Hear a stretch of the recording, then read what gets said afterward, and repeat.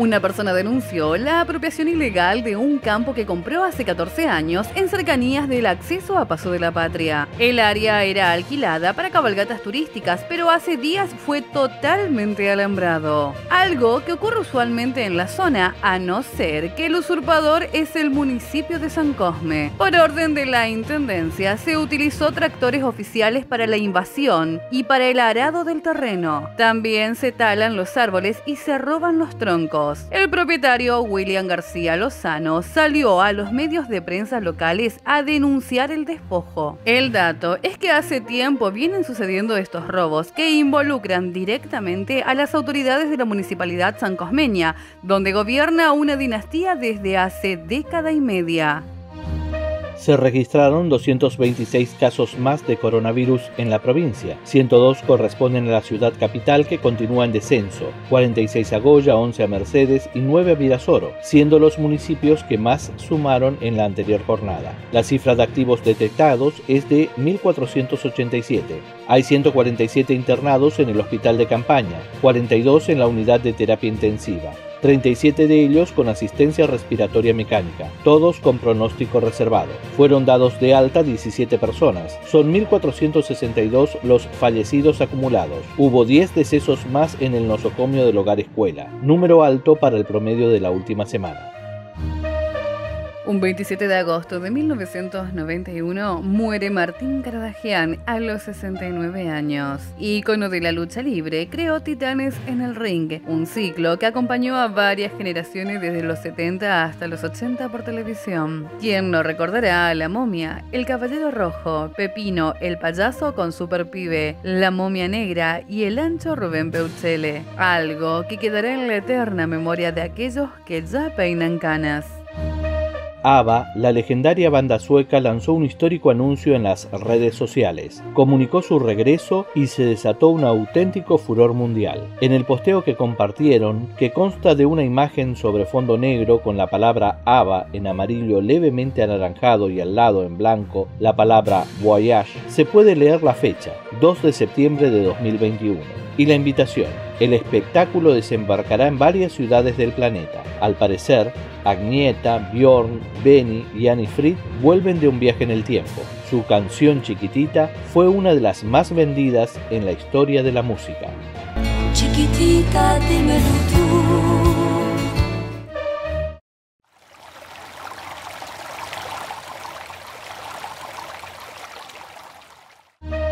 Posible de Falco en el millonario bingo de los bomberos voluntarios de Goya, una verdadera timba clandestina al amparo del poder político. Involucraría a un alto funcionario de la intendencia de esa localidad. El juego se realizó el pasado 14 de agosto sin la fiscalización de Lotería Correntina. Asimismo, el organismo igual le dio vía libre sin la aprobación del expediente que estaba en curso, ni el pago del canon correspondiente. No hubo controles, tampoco algún software que haya determinado determinado fehacientemente si el sorteo no fue irregular. Se entregó una camioneta 4x4, una vivienda, entre otros premios mayores, aunque no se sabe si los ganadores surgieron del azar o de un acuerdo previo. Todo fue ilícito. Hasta se conoció un audio donde el propio titular de la asociación reconoce que el interventor del ente lúdico, Leandro Alciati, le dijo que haga el evento porque archivaría toda la documentación, dándole curso a la ilegalidad. Con el interventor de lotería, Alciati,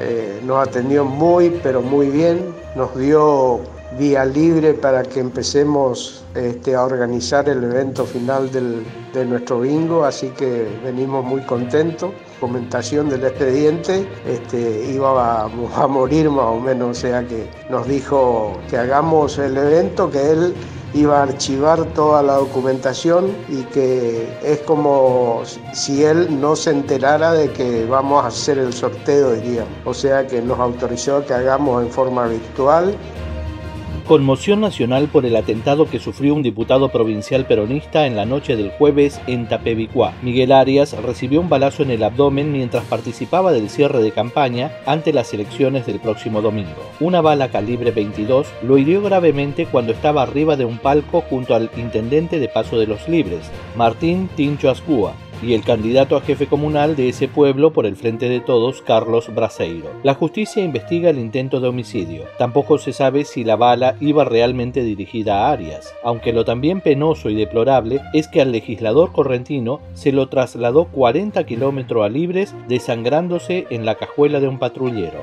por falta del servicio de una ambulancia. Oficialmente el vehículo sanitario con equipamiento cuando llegó al lugar, el herido ya había sido llevado al Hospital San José en el móvil policial. 153 muertes más y 5.807 nuevos contagios de coronavirus en la Argentina. Los fallecimientos ascienden a 111.270 en todo el país. El descenso de casos es notable, aunque persiste el temor de un rebrote ante la inminente circulación comunitaria de la variante Delta. Hay un 46,1% de camas ocupadas en terapia intensiva a nivel nacional.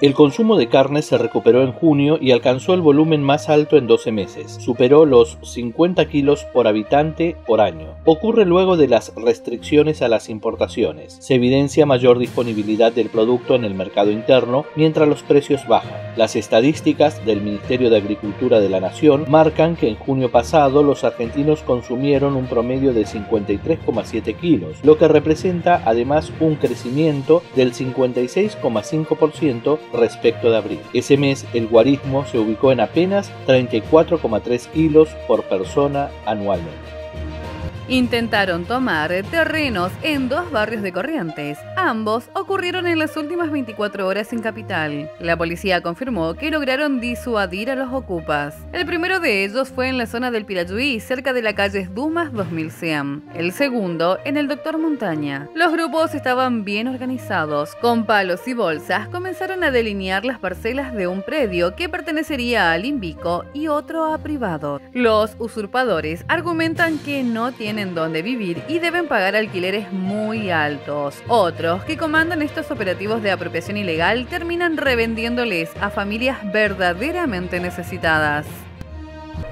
Este sábado habrá una mínima de 11 grados y una máxima de 28, mientras que el domingo la temperatura rondará entre los 15 y 30 grados. El cielo estará despejado en ambas jornadas y será un excelente clima para el fin de semana en Corrientes.